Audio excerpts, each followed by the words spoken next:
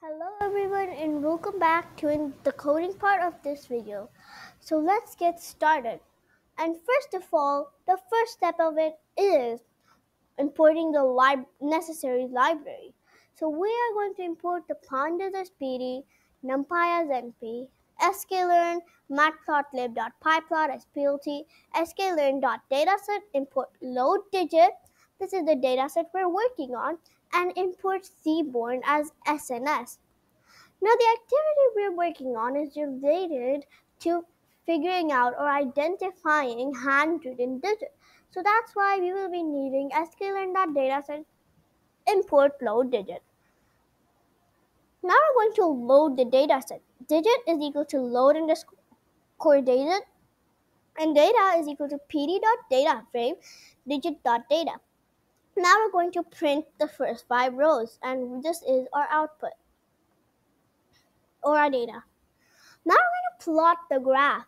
So underscore comma axis is equal to plt dot subplot n rows 1 n calls for figure size 10 by 3.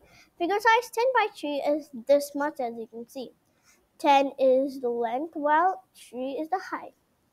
So for ax image, label and zip axis digit dot image digit dot target.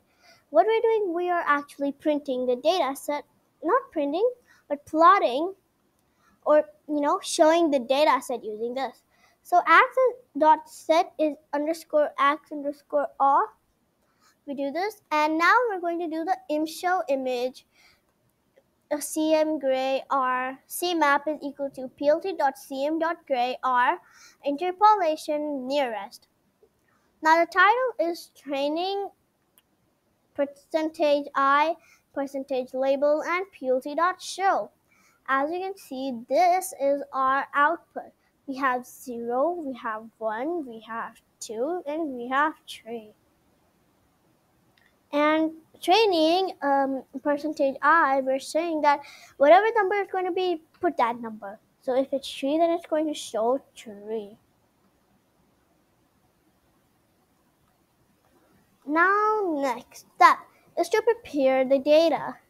So we are going to have n samples, len digit image, print n samples, digit x digit image, reshape n samples minus 1.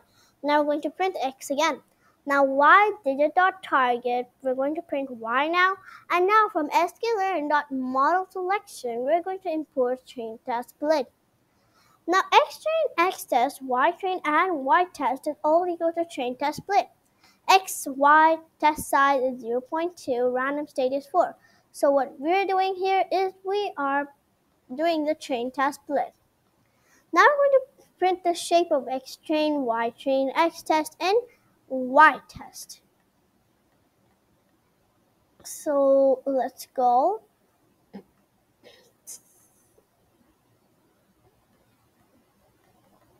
Yeah, so now we are going to be doing, we're going to train the model using linear kernel. This is what our topic is related to.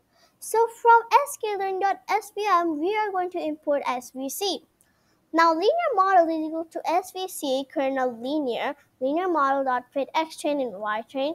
Now we're going to print the accuracy score. So accuracy of model, accuracy of model for linear kernel is x test, y test is format linear model dot score, x test, y test multiplied by 100.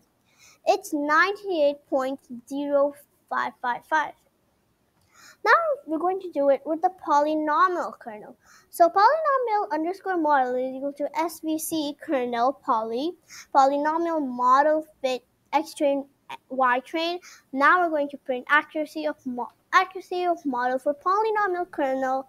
Then we're going to do the code and it's going to be 98.88889 and continue. Now let's just check it out with the last one and we can see which one to choose. If it's 98, if the accuracy is good for the linear kernel, then why bother to do the others? Well, we need to check which one is good and which one is more comfortable and, you know, better. Of course, poly would also require less training time, so we could always go for poly too, but RBF, it, it is pretty hard in training. So let's go ahead. RBF underscore model is equal to SVC kernel RBF. RBF underscore model for X train, Y train. Now the accuracy of model for RBF kernel is 99.166. So you can say that this time RBF won the, or you can say RBF scored the highest accuracy, which is 98, 99. And this is why we can choose from any of these, any of them. I'll be seeing you in my next video, which is going to be the homework activity of this. So I'll see you then.